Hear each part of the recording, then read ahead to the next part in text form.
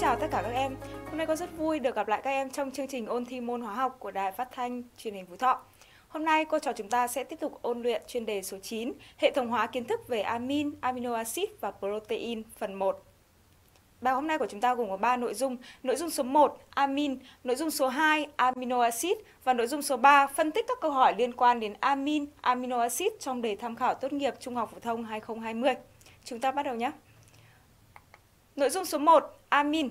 Về khái niệm và danh pháp, một nhỏ khái niệm, khi thay thế nguyên tử hydro trong phân tử ammoniac bằng gốc hydrocarbon, ta thu được amin.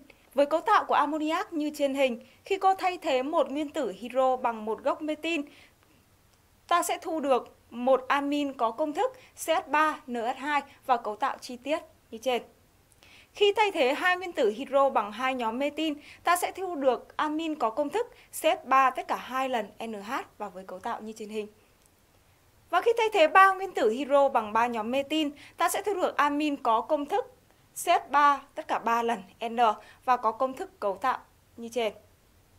Và các em chú ý là khi thay thế các nguyên tử hydro bằng gốc hydrocarbon thì gốc hydrocarbon có thể giống hoặc khác nhau. Chúng ta chuyển sang phần số 2 đó là phân loại. Có hai cách phân loại amin. Cách thứ nhất theo gốc hydrocarbon và cách số 2 đó là theo bậc của amin. Theo gốc của hydrocarbon, ta chia thành amin mạch hở và amin thơm. Ví dụ trường hợp amin mạch hở là CH3, NH2, C2H5, NH2, vân vân. Ví dụ ở trường hợp amin thơm đó là C6H5, NH2, CH3, C6H4, NH2, vân vân. Theo bậc của amin, như vậy bậc của amin thì được xác định như thế nào? Bậc của amin thường được tính bằng số gốc hydrocarbon liên kết với nguyên tử nitơ. Vậy dựa vào cách xác định này, ta chia amin thành 3 loại. Amin bậc 1 ví dụ như CH3, NH2. Amin bậc 2 ví dụ như CH3 tất cả 2 lần NH. Và amin bậc 3 ví dụ như CH3 tất cả 3 lần N. Giờ chúng ta cùng xây dựng công thức tổng quát của một amin bất kỳ. Với một amin bất kỳ, ta có công thức CnH2n cộng 2 cộng x trừ 2k NX với k là độ bất bão hòa của phân tử. Ta cùng xét một trường hợp cụ thể. Trường hợp amino đơn chức mạch hở, ta có công thức tổng quát là CnH2n cộng 3 N với giá trị N lớn hơn hoặc bằng 1. Chúng ta cùng chuyển sang mục số 4, danh pháp. Thì amin có 3 cách gọi tên. Thứ nhất là tên gốc chức, thứ hai là tên thay thế và thứ ba là tên thông thường. Tên gốc trước thì được gọi theo công thức tên amin bằng tên gốc hydrocarbon cộng với phần định chức là amin. Cô lấy ví dụ trường hợp amin đơn giản nhất là CH3NH2. Thì gốc CH3 được gọi là metin, nối phần định chức amin chúng ta có tên của amin là metinamin. Về tên thay thế chúng ta sẽ chia ra thành 3 trường hợp đối với amin bậc 1, bậc 2, bậc 3 là khác nhau. Tên thay thế của amin bậc 1 thì bằng tên của hydrocarbon tương ứng với mạch chính, gạch ngang số chỉ vị trí nhóm amin, gạch ngang amin. Cô vẫn lấy trường hợp của CH3 NH2 là ví dụ. Hydrocarbon tương ứng với gốc CH3 là metan. Phần định chức amin nối lại với nhau chúng ta có tên thay thế của amin là metanamin. Tên thay thế của amin bậc 2 thì được gọi theo công thức bằng N gạch ngang tên nhánh nối với tên hydrocarbon tương ứng mạch chính, gạch ngang số chỉ vị trí nhóm amin, gạch ngang amin. Cô lấy ví dụ trường hợp CH3 NHCH3. Đây là trường hợp của amin bậc 2 đơn giản nhất. Chúng ta coi nhóm NHCH3 là nhánh, gọi là N metin. Hydrocarbon tương ứng với gốc CH3 là metan. Nối hai thành phần chúng ta có N-metin metan amin. Đối với amin bậc 3 thì tên thay thế của amin bậc 3 được gọi theo công thức bằng N phẩy N gạch ngang tên nhánh nối với phần tên hydrocarbon tương ứng mạch chính gạch ngang số chỉ vị trí nhóm amin gạch ngang amin. Cô lấy ví dụ trường hợp amin bậc 3 đơn giản nhất là CH3 tất cả 3 lần N. Và cô viết ở dạng công thức thu gọn như trên. Phần N CH3 tất cả hai lần được coi như là một nhánh, gọi là N phải N dimetin. Hydrocarbon tương ứng với mạch chính là metan. Nối hai thành phần, chúng ta có N-N dimetin metanamin. Lại tên thứ ba đó là tên thông thường. Tên thông thường để gọi một số amin quen thuộc và trong chương trình của chúng ta có một amin là C6H5NH2 với tên gọi là anilin. Lần lượt chúng ta cùng luyện tập gọi tên một số amin sau. Với ba amin đầu tiên là cô vừa lấy ở phần ví dụ. Chúng ta tiếp tục luyện tập gọi tên với bốn công thức amin phía dưới. Trường hợp số 1, set 3, set 2, NH2. Tên gốc trước là etinamin. Tên thay thế là etanamin. Với amin tiếp theo, set 3, set 2, set 2, NH2. Tên gốc trước là propinamin. Tên thay thế là propan 1 amin. Trường hợp số 3, C6H5NH2. Tên gốc trước là pheninamin. Tên thay thế là benzenamin. Trường số 4 là trường hợp đặc biệt NH2 Z2 tất cả 6 lần NH2. Đây là một amin đa chức. Tên gốc chức là hexamethylen diamin và tên thay thế là hexan 1,6 diamin. Chúng ta cùng chuyển sang phần thứ hai là tính chất vật lý. Xét riêng cho amin mạch hở và amin thơm về amin mạch hở thì có metinamin, dimetinamin, trimetinamin và etinamin là những chất khí mùi khai khó chịu tan nhiều trong nước. Đối với các amin có phân tử khối cao hơn thì là những chất lỏng hoặc chất rắn. Còn về amin thơm thì các amin thơm là chất lỏng hoặc chất rắn ở điều kiện thường và khi để lâu trong không khí thì các amin thơm bị chuyển từ không màu thành màu đen do bị oxy hóa. Và các em chú ý là theo chiều tăng của phân tử khối thì nhiệt độ sôi của các amin tăng dần, đồng thời độ tan giảm dần. Và dù là amin mạch hở hay amin thơm thì chúng đều độc. Chúng ta chuyển sang phần thứ ba là cấu tạo phân tử và tính chất hóa học. Một cấu tạo phân tử. Chúng ta cùng quan sát lại công thức cấu tạo của amin bậc 1, bậc 2, bậc 3 thì các em thấy rằng là dù là amin bậc 1, bậc 2 hay bậc 3 thì trên nguyên tử nitơ vẫn còn đôi e chưa tham gia liên kết gây nên tính chất của nhóm chức đó là tính bazơ. Và tùy thuộc vào cấu tạo của gốc R1, R2, R3 thì chúng ta xét thêm tính chất của gốc hydrocarbon. Từ cấu tạo phân tử chúng ta xét đến tính chất hóa học. Thứ nhất là tính chất của nhóm chức đó là tính bazơ. Tính bazơ thì phụ thuộc vào gốc hydrocarbon. Tùy vào cấu tạo của gốc hydrocarbon sẽ ảnh hưởng đến nguyên tử nitơ. Cụ thể, đối với amino, các gốc hydrocarbon no sẽ làm tăng mật độ E trên nguyên tử nitơ, làm cho tính bazơ của amino lớn hơn ammoniac. Còn đối với các gốc hydrocarbon thơm thì sẽ làm giảm mật độ E trên nguyên tử nitơ, làm cho tính bazơ của amin thơm thì yếu hơn so với ammoniac. Chúng ta xây dựng được thứ tự giảm dần tính bazơ như trên. Và cụ thể, amino có tính bazơ làm quỳ tím chuyển màu xanh. Và amin thơm có tính bazơ nhưng tính bazơ yếu không làm quỳ tím đổi màu. Và trong chương trình của chúng ta có amin thơm rất là quen thuộc đó là anilin không làm đổi màu quỳ tím. Chúng ta cũng xét phản ứng của amin với axit. Lần lượt cô đưa ra 3 phản ứng tương ứng với phản ứng của amin bậc 1, bậc 2, bậc 3 với axit chlorhydric. Sẽ tạo ra muối amoni của các amin tương ứng. Và các em chú ý là không hề có sản phẩm phụ sinh ra. Như vậy là trong các bài tập liên quan đến tính bazơ của amin, chúng ta sử dụng linh hoạt phương pháp bảo toàn khối lượng để tính toán.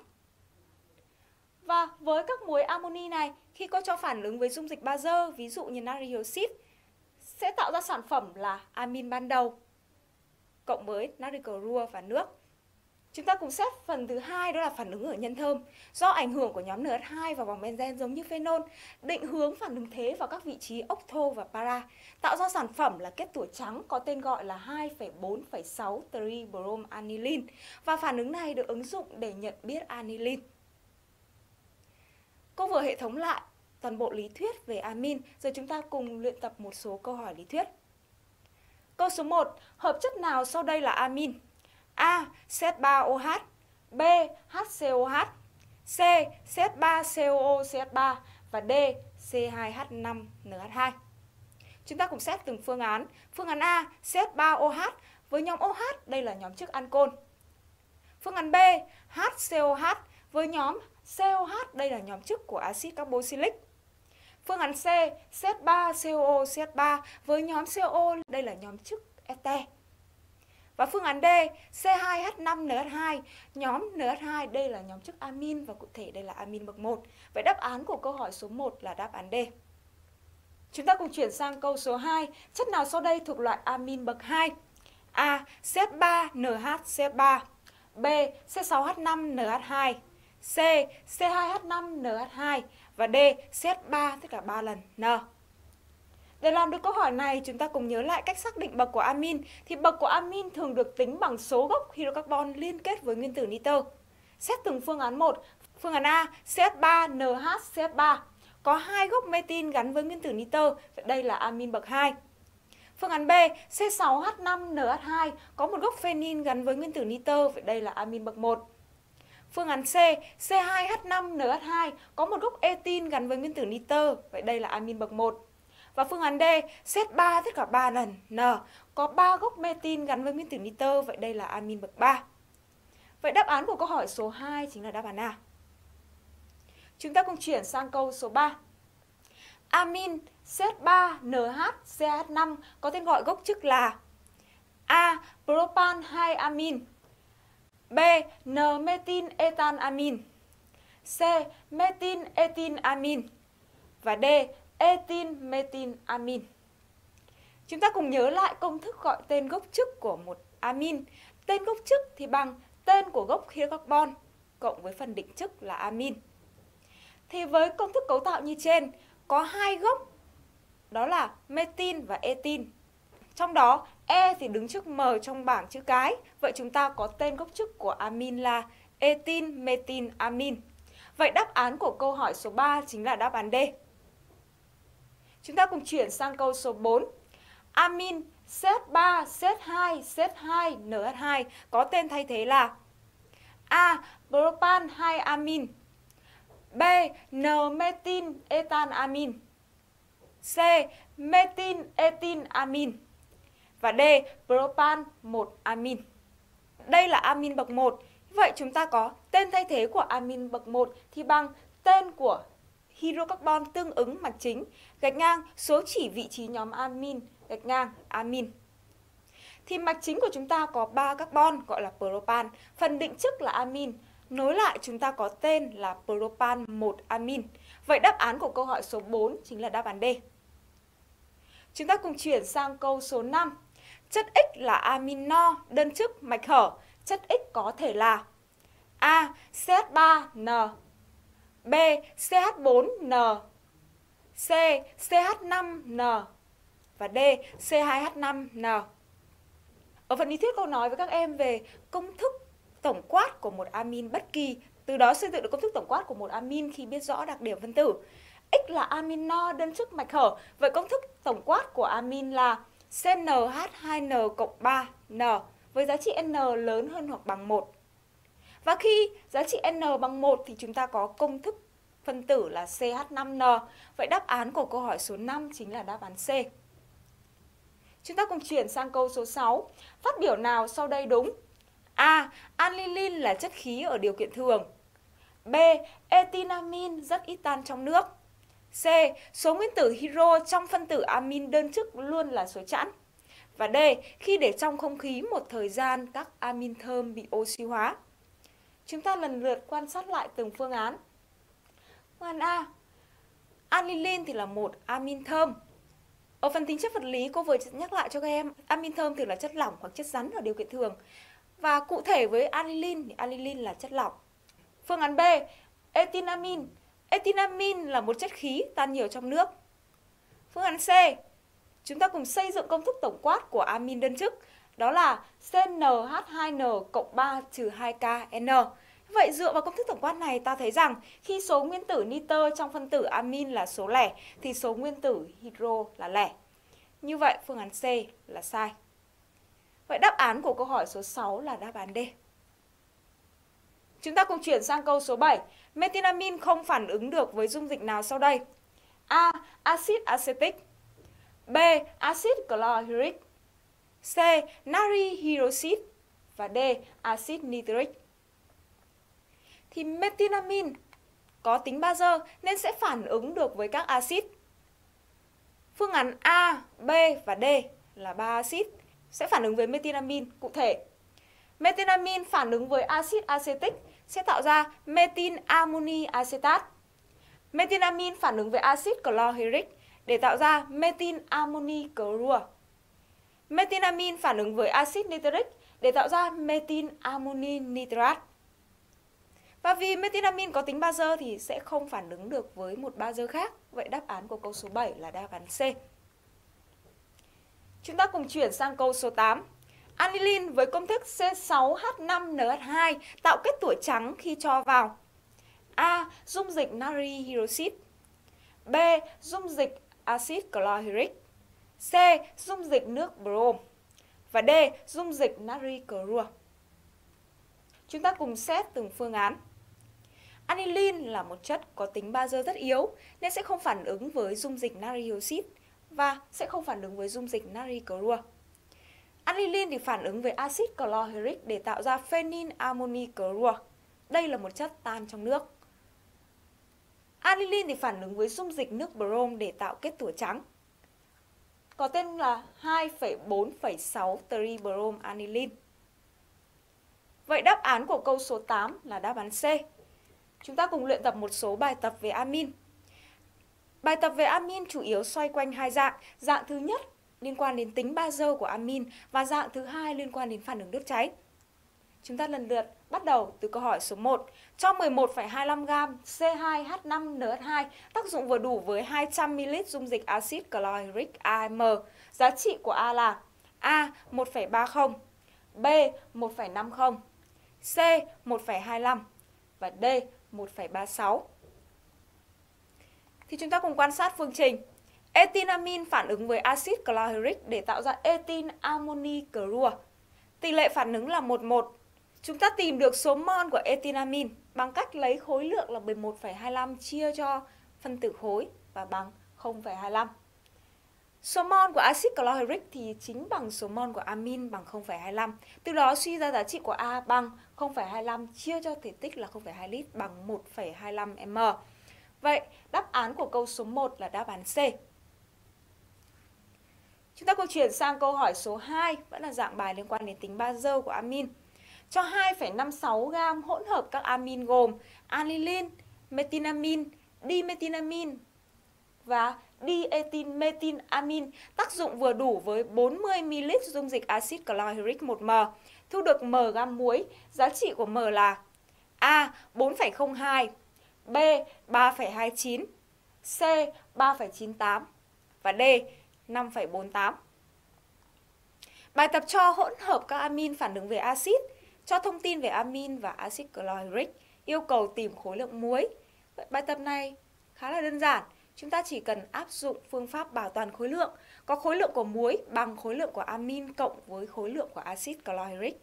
Trong đó khối lượng amin thì đề bài đã cho sẵn là 2,56, khối lượng của axit chlorhydric tính bằng biểu thức số mol không là 0,04 nhân phân tử khối là là 36,5. Và đáp án khối lượng của muối bằng 4,02 gam.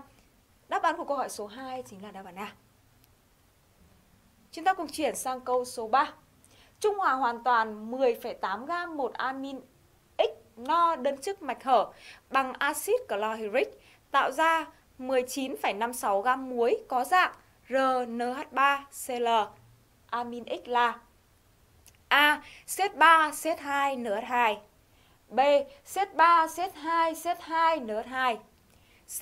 Xét 3 tất cả hai lần CH NH2 và D. Xét 3, xét 2, NH, xét 3 Với bài tập số 3 chúng ta thấy rằng biết khối lượng amin, biết khối lượng muối như vậy là chỉ cần bảo toàn khối lượng để tìm ra khối lượng của axit chlorhydric bằng 8,76 g. Từ đây tìm được số mol của axit chlorhydric bằng 0,24 mol và tìm được phân tử khối của amin bằng khối lượng là 10,8 chia cho số mol là 0,24 và bằng 45. Vì là amin no đơn chức mạch hở nên dạng tổng quát của amin là CnH2n cộng 3n. Từ đây chúng ta rút ra phương trình 14n cộng 17 bằng 45. Suy ra N bằng 2. N bằng 2 ứng với công thức phân tử là C2H7N. Chúng ta sẽ viết được hai đồng phân, một đồng phân amin bậc 1 và một đồng phân amin bậc 2. Đề bài cho muối có dạng RNH3Cl. Vậy chứng tỏ rằng là amin bậc 1. Vậy công thức cấu tạo của amin sẽ là C3, C2, NH2. Vậy đáp án của câu hỏi số 3 chính là đáp án A. Chúng ta cùng chuyển sang câu số 4 cũng là một câu liên quan đến tính bazơ của amin. Cho 2,1 gam hỗn hợp X gồm hai amin no đơn chức kế tiếp nhau trong dãy đồng đặc phản ứng hết với dung dịch axit clohydric dư, thu được 3,925 gam hỗn hợp muối. Công thức của hai amin trong hỗn hợp X là A. CH3NH2 và C2H5NH2. B. C2H5NH2 và C3H7NH2. C. C3H7NH2 và C4H9NH2. D. CH3NH2 và CH3 tất cả 3 lần N. Ở bài tập này chúng ta thấy là có khối lượng của amin và có khối lượng của muối. Như vậy, nhiệm vụ đầu tiên của chúng ta là bảo toàn khối lượng để tìm ra khối lượng của axit chlorhydric. Thay số vào chúng ta có khối lượng axit chlorhydric là 1,825 g. Suy ra được số mol của axit là 0,05 mol. Đề bài cho là amin đơn chức, vậy chứng tỏ số mol của amin bằng số mol của axit bằng 0,05 mol.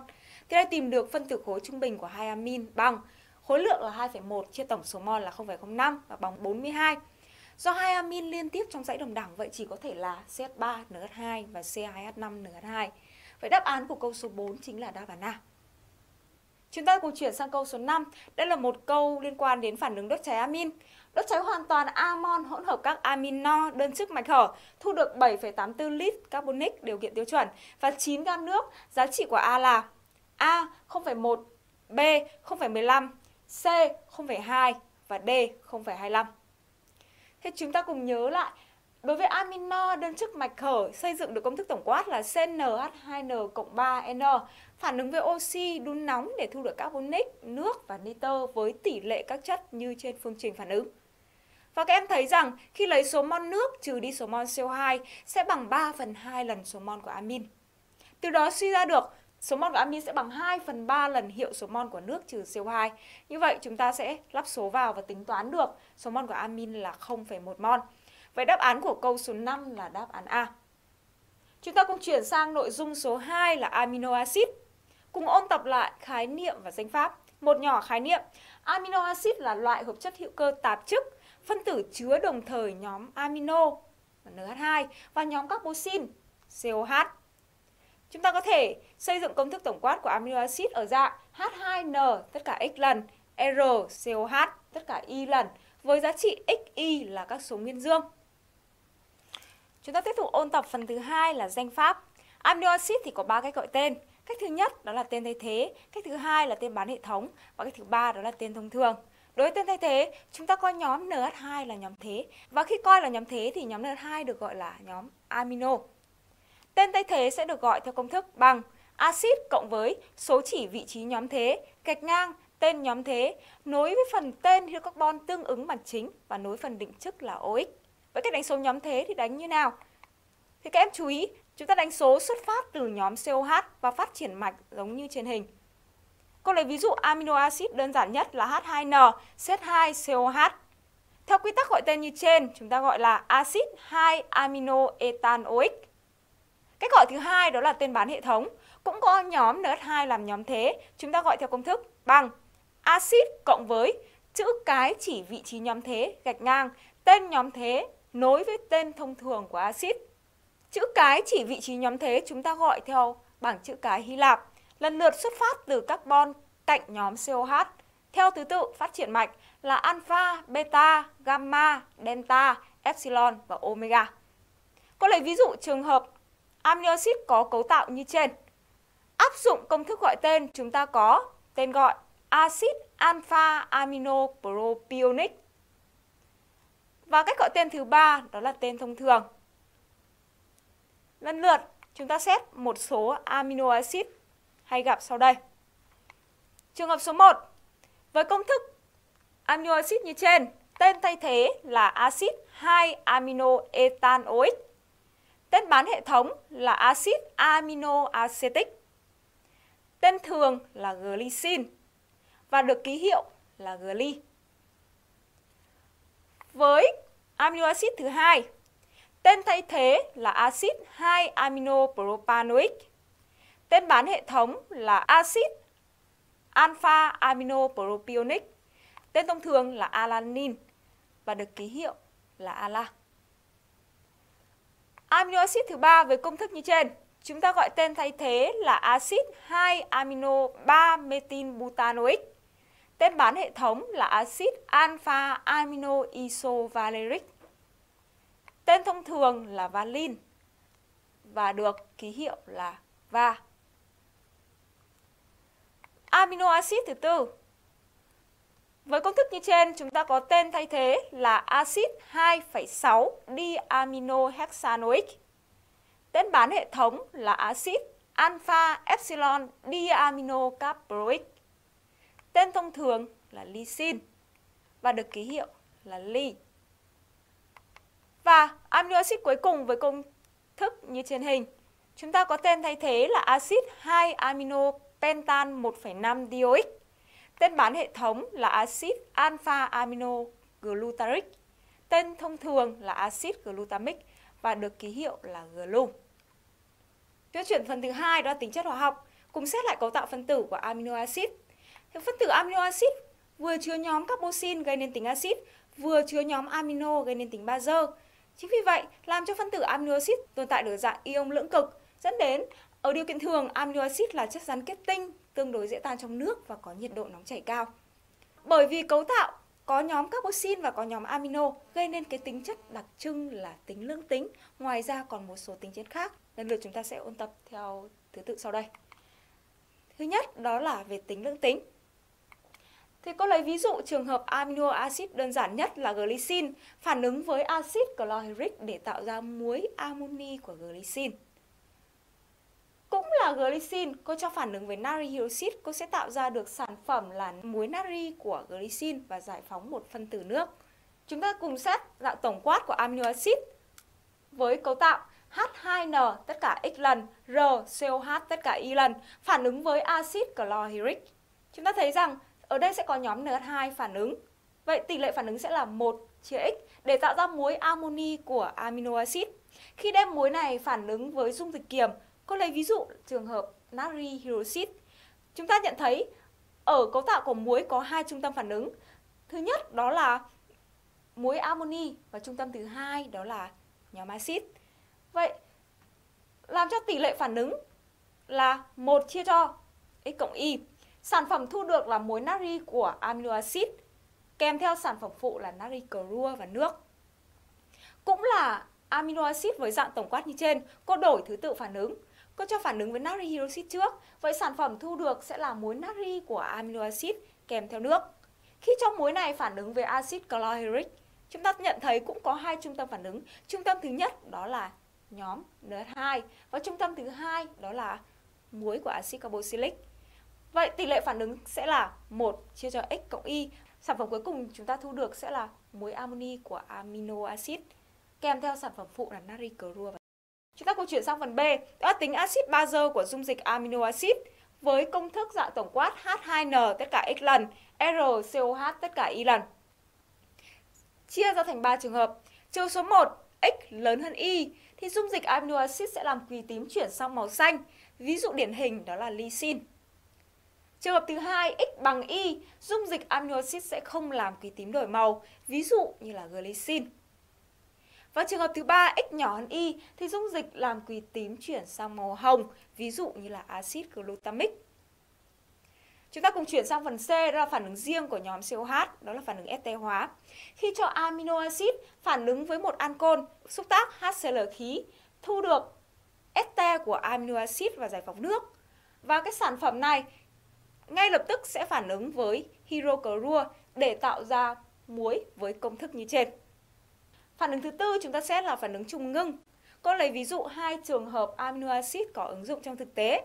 Trường hợp số 1, đem trùng ngưng axit epsilon amino caproic hay có tên gọi khác là axit 6 amino hexanoic. Đem trùng ngưng để thu được sản phẩm là polycaproamide hay có tên gọi quen thuộc hơn đó là ni lông 6, giải phóng N phân tử nước. Và phản ứng thứ hai đó là khi trùng ngưng axit omega amino enantoic hay có tên gọi khác là axit 7 amino heptanoic. Thu được sản phẩm là polyenantamide hay có tên gọi thân thuộc hơn đó là ni 7, giải phóng N phân tử nước. Amino acid thì có rất nhiều ứng dụng trong thực tế. Thứ nhất phải kể đến đó là các amino acid thiên nhiên thường là các alpha amino acid là những hợp chất cơ sở để kiến tạo nên các loại protein của cơ thể sống. Thứ hai, muối mononari của axit glutamic thì dùng làm gia vị thức ăn. Và bản thân axit glutamic thì được dùng làm thuốc hỗ trợ thần kinh. Methionine là thuốc bổ gan. Ngoài ra, axit 6 amino hexanoic và axit 7 amino heptanoic là nguyên liệu để sản xuất tơ ni lông theo hai phương trình phản ứng chúng ta vừa xét. Như vậy cô vừa hệ thống lại toàn bộ kiến thức cơ bản của amino acid rồi chúng ta sẽ cùng luyện tập một số câu hỏi lý thuyết sau đây. Câu số 1. Chất X có công thức H2N Z2COH, tên thông thường của X là A. Glycine B valin, C. Alanine D. Lysine Thì ở bảng tên gọi của các amino acid thường gặp có 5 amino acid Chúng ta rất dễ dàng để chọn được đáp án của câu hỏi số 1 Đó chính là đáp án A Một trong 5 alpha amino acid cơ bản Chúng ta cùng chuyển sang câu số 2 Chất X có công thức H2N Z2COH Tên thay thế của X là A. Axit 2 amino ethanoic B. Axit 2 amino metanoic C. Axit amino acetic và D. Axit alpha amino ethanoic.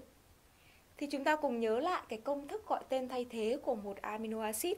Thì bao giờ chúng ta cũng gọi có đầu axit này, sau đó tiếp đến số chỉ vị trí nhóm thế, tên nhóm thế rồi gắn với hydrocarbon tương ứng mạch chính và gắn với đuôi định chức là OX. Như vậy ứng với công thức cấu tạo như trên, chúng ta có tên gọi tương ứng là axit 2 amino ethanoic. Đáp án A. Tiếp tục câu số 3. Chất X có công thức là H2N, CH2COH, tên bán hệ thống của X là cũng là chất có công thức cấu tạo giống như ở câu số 2, nhưng đề bài yêu cầu là hãy chỉ ra tên bán hệ thống của X. Vậy tên bán hệ thống của X là gì? Chúng ta cùng nhớ lại công thức gọi tên. Tên bán hệ thống của amino acid sẽ bằng acid cộng với chữ cái chỉ vị trí nhóm thế đến tên nhóm thế nối với phần tên thông thường của axit.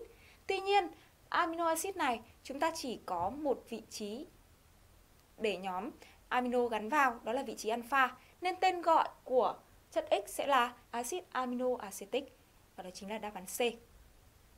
Chúng ta cùng chuyển sang câu số 4.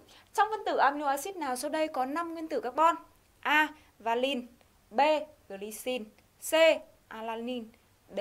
Lysine Vậy để làm được câu hỏi này bắt buộc các em phải nhớ được công thức cấu tạo của những amino acid thường gặp. Lần lượt chúng ta xét valin với cấu tạo như trên thì nó sẽ có 5 nguyên tử carbon. Tương tự, glycine có 2 nguyên tử carbon, Alanin có 3 nguyên tử carbon và lysine có 6 nguyên tử carbon. Vậy đáp án của câu số 4 chính là đáp án A. Chúng ta cùng chuyển sang câu số 5. Dung dịch chứa chất nào sau đây không làm đổi màu quý tím? A. Axit glutamic B. Glycine C. Lysine và D. Metinamin. Chúng ta cùng xét cấu tạo của từng amino acid. Với axit glutamic có số lượng nhóm carboxyl lớn hơn số lượng nhóm amino sẽ làm cho quý tím đổi sang màu hồng. Với glycine thì số lượng nhóm amino bằng số lượng nhóm carboxyl, như vậy sẽ không làm đổi màu quỳ tím. Với lysine, số lượng nhóm amino lại lớn hơn số lượng nhóm carboxyl, vậy làm quý tím đổi màu xanh. Và chất cuối cùng, methylamine. Đây là một amino, vậy nó sẽ làm quý tím đổi màu xanh. Vậy đáp án của câu số 5 chính là đáp án B. Chúng ta cùng chuyển sang câu số 6. Cho glycine lần lượt vào các dung dịch natri oxit, axit chlorhydric, natri nitrat, kali clorua. Số trường hợp xảy ra phản ứng là A 1, B 2, C 3 và D 4. Glycine là một amino acid có tính lưỡng tính nên sẽ xảy ra các phản ứng với axit và với bazơ. Lần lượt xét, glycine phản ứng với axit chlorhydric sẽ tạo ra được muối amoni của glycine. Glycine phản ứng với natri hydroxit sẽ tạo ra muối natri của glycine và giải phóng nước. Và natri nitrat và kali clorua thì là hai muối tạo môi trường trung tính sẽ không xảy ra phản ứng. Vậy đáp án của câu hỏi số 6 chính là đáp án B. Chúng ta cùng chuyển sang câu số 7. Chọn phát biểu đúng. A. Amino acid là hợp chất hữu cơ đa chức. B. Axit glutamic dùng làm gia vị thức ăn. C. Axit 6 amino hexanoic là nguyên liệu để sản xuất tơ ni lông 6. D. Amino acid là những chất rắn kết tinh rất ít tan trong nước. Chúng ta lần lượt xét từng phương án. Phương án A. Amino acid thì theo đúng định nghĩa của chúng ta, amino acid là hợp chất hữu cơ tạp chức chứa đồng thời nhóm amino và nhóm carboxin. Như vậy phương án A là sai. Đối phương án B thì dùng là gia vị thức ăn không phải là axit glutamic mà là muối mononatri của axit glutamic. Vậy phương án B, sai. Phương án C, Axit 6 amino hexanoic là nguyên liệu để sản xuất tơ ni lông 6. Cái này theo đúng cái phản ứng ở phần phản ứng trùng ngưng cô vừa ôn tập lại cho các em. Vậy phương án C là đúng. Phương án D. Amino acid là những chất rắn kết tinh rất ít tan trong nước. Vậy phương án này là sai. Sai ở điểm nào? Đó là nó là những chất rắn kết tinh và tương đối dễ tan trong nước. Vậy đáp án của câu hỏi số 7 là đáp án C. Chúng ta cùng làm một số bài tập về amino acid. Câu số 1, cho 0,15 mol axit glutamic vào 175 ml dung dịch axit chlorhydric 2m, thu được dung dịch X. Cho natri hydroxit dư và dung dịch X. Sau khi các phản ứng xảy ra hoàn toàn, số mol natri hydroxit đã phản ứng là A. 0,50 mol, B. 0,65 mol, C. 0,70 mol và D. 0,55 mol. Bài tập này các em thấy là có hai giai đoạn. Giai đoạn thứ nhất là axit glutamic phản ứng với axit chlorhydric. Giai đoạn thứ hai là đem sản phẩm cho phản ứng với natri hydroxit. Vậy liệu chúng ta có làm theo cái lộ trình nối tiếp như vậy hay không? Câu trả lời là không. Coi hỗn hợp ban đầu gồm có axit glutamic là 0,15 mol và axit chlorhydric tính toán được là 0,35 mol. Số mol của natri hydroxit chính bằng hai lần số mol của axit glutamic cộng với số mol của axit chlorhydric. Do trong phân tử axit glutamic có hai nhóm carboxin, thay số vào các em tính toán sẽ được 0,65 mol. Vậy đáp án của câu hỏi số 1 chính là đáp án B. Cùng với câu số 1, cô đưa ra câu số 1 phẩy với nội dung như sau. Cho 0,15 mol glycin vào 175 ml dung dịch natri hydroxit 2m, thu được dung dịch X. Cho axit chlorhydric dư và dung dịch X. Sau khi các phản ứng xảy ra hoàn toàn, số mol axit chlorhydric đã phản ứng là A. 0,50 mol, B. 0,65 mol, C. 0,70 mol và D. 0,55 mol. Ở bài tập này các em thấy là nó ngược so với câu hỏi số 1. Và amino acid cũng là một chất khác. Cũng gồm hai giai đoạn, glycine phản ứng natri acid để thu được dung dịch và đem dung dịch sản phẩm tiếp tục cho phản ứng với axit chlorhydric. Đề bài yêu cầu tìm số mol của axit chlorhydric. Chúng ta cũng sẽ không chọn con đường là nối tiếp mà sẽ xử lý giống như câu hỏi số 1. Đó là con hỗn hợp ban đầu gồm có glycine là 0,15 mol và natri hydroxit là 0,35 mol. Số mol của axit chlorhydric sẽ bằng số mol của glycine cộng với số mol của natri hydroxit. Do trong phân tử glycine có một nhóm amino sẽ phản ứng với axit chlorhydric theo tỷ lệ 11. Thay số vào chúng ta sẽ tìm được số mol của axit chlorhydric bằng 0,5 mol. Vậy đáp án của câu hỏi 1 phẩy chính là đáp án A. Chúng ta cùng chuyển sang câu số 2. Chất X là một alpha amino acid có chứa một nhóm NH2 trong phân tử cho 17,8 gam X tác dụng với lượng dư dung dịch axit chlorhydric thu được 25,1 gam muối khan. Công thức cấu tạo của X là A. H2N CH2COH B. H2N CH2 CH2COH C. H2NCHCH3COH và D. CH3 CH2 CH NH2 COH. Đề bài cho amino acid có một nhóm NH2, vậy chứng tỏ rằng số mol axit lactic tham gia phản ứng sẽ bằng số mol của X. Chúng ta thấy rằng là khối lượng muối thu được thì lớn hơn khối lượng của X. Phần tăng khối lượng này là do axit chlorhydric được cộng gộp vào amino acid. Vậy chúng ta có số mol của X chính bằng số mol của axit chlorhydric bằng độ tăng khối lượng là 25,1 trừ đi 17,8 chia cho phân tử khối của axit chlorhydric là 36,5 bằng 0,2 mol. Từ đây tìm ra phân tử khối của X bằng khối lượng là 17,8 chia cho số mol là 0,2 và bằng 89. Từ đây suy ra công thức cấu tạo của X là H2N C2H4COH. Tương ứng chúng ta thu được hai đồng phân như trên. Và đề bài đưa ra X là một alpha amino acid. Như vậy chứng tỏ rằng công thức cấu tạo của X sẽ là H2N CH CH3 COH. Vậy đáp án của câu hỏi này chính là đáp án C. Cùng với câu số 2, cô đưa ra câu số 2 phẩy với nội dung như sau. Chất X là một alpha amino acid chứa một nhóm COH trong phân tử cho 17,8 gam X tác dụng với lượng vừa đủ dung dịch natri oxit thu được 22,2 gam muối khan. Công thức cấu tạo của X là với 4 đáp án A, B, C, D giống như câu hỏi số 2. Thì bài này chúng ta thấy rằng X có một nhóm COH, vậy chứng tỏ rằng số mol của X sẽ bằng chính số mol của natri hydroxit. Và khối lượng muối thì lớn hơn khối lượng của X. Độ tăng khối lượng này là do nguyên tử natri thay thế cho nguyên tử hydro trong nhóm carboxin. Vậy chúng ta có phương trình số mol của X bằng số mol của natri oxit bằng độ tăng khối lượng ứng với một mol chất đó là 23 trừ 1 bằng 22. Lắp vào phương trình chúng ta có số mol của X sẽ bằng 0,2 mol. Và tương tự như câu hỏi số 2 thì chúng ta sẽ tìm được phân tử khối của X và từ đó suy ra công thức cấu tạo. Đề bài cho alpha amino acid, vậy đáp án của câu hỏi 2 phẩy cũng là đáp án C. Chúng ta cùng chuyển sang câu số 3. Cho 0,01 mol amino acid X tác dụng vừa đủ với 100 ml dung dịch axit chlorhydric 0,1 m, thu được 1,835 g muối khan. Mặt khác, 0,01 mol X tác dụng vừa đủ với 200 ml dung dịch natri hydroxit 0,1 m. Công thức của X là A. H2N tất cả hai lần C3H5COH B. H2N C3H5COH tất cả hai lần C. H2N C2H3COH tất cả hai lần và D. H2N tất cả hai lần C2H3COH Ở bài tập này chúng ta thấy là đề bài cho sẵn số mol của amino acid Số mol của axit chlorhydric và số mol của natri chúng ta tính được. Lập tỷ lệ số mol của axit chlorhydric chia số mol của X bằng 0,01 chia 0,01 và bằng 1 chứng tỏ rằng amino acid có một nhóm amino. Tương tự, chúng ta lập tỷ lệ số mol của natri hydroxit chia số mol của X bằng 0,02 chia 0,01 và bằng 2. Vậy chứng tỏ rằng phân tử amino acid có hai nhóm carboxin. Chúng ta xây dựng được dạng tổng quát của X là H2NRCOH tất cả hai lần. Bảo toàn khối lượng để tìm ra khối lượng của X. Khối lượng của X bằng khối lượng của muối trừ đi khối lượng của axit chlorhydric Thay số vào ra được khối lượng của x là 1,47.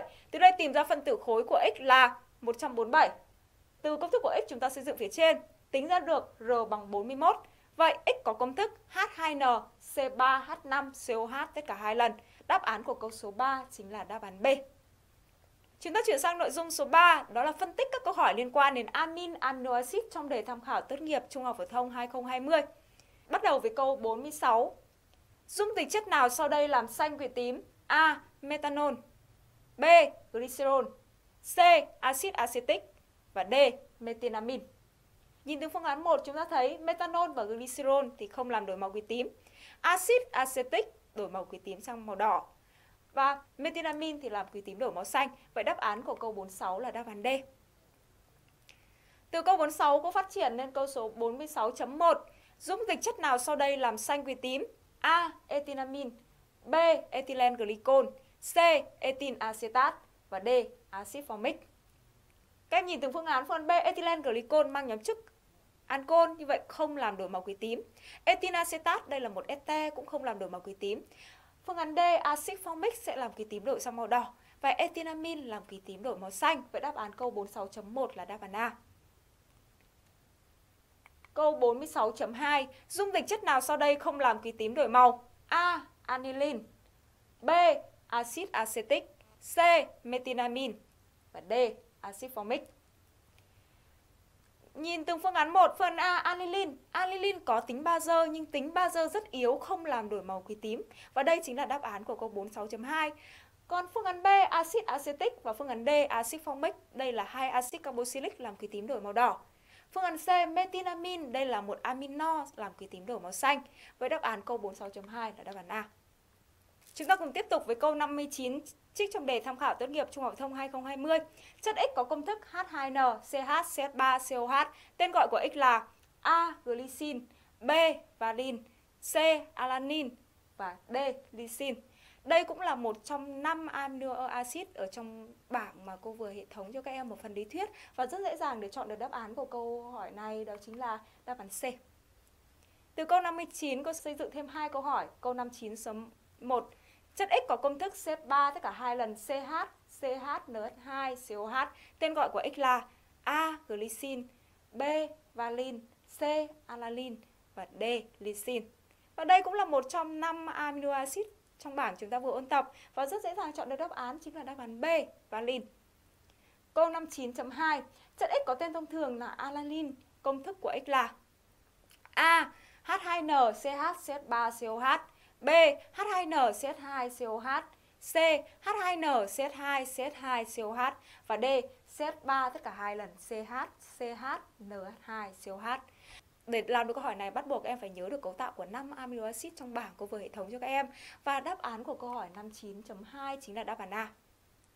Tiếp tục chúng ta chuyển sang câu 64 trích trong đề tham khảo tốt nghiệp trung học phổ thông 2020. Phát biểu nào sau đây sai? A. Dung dịch lysine không làm đổi màu ký tím. B. Methylamine là chất khí tan nhiều trong nước. C. Protein đơn giản chứa các gốc alpha amino acid. Và D. Phân tử glyala và có 3 nguyên tử nitơ. Chúng ta cùng xem xét từng phương án. Phương án A, lysine có công thức là NH2 tất cả hai lần C5H9COH. Số lượng nhóm amino nhiều hơn nhóm carboxyl sẽ làm cho quỳ tím chuyển màu xanh. Vậy đáp án của câu 64 chính là đáp án A. Và các em nhìn một lượt các phương án B, C, D. Đây là các mệnh đề đúng. Trong buổi học ngày hôm nay, cô đã hệ thống lại toàn bộ lý thuyết, đưa ra các câu hỏi lý thuyết và các bài tập cơ bản của amin, amino acid. Chúc các em sẽ ôn tập thật tốt và đạt kết quả cao trong kỳ thi sắp tới. Thân ái, chào tạm biệt.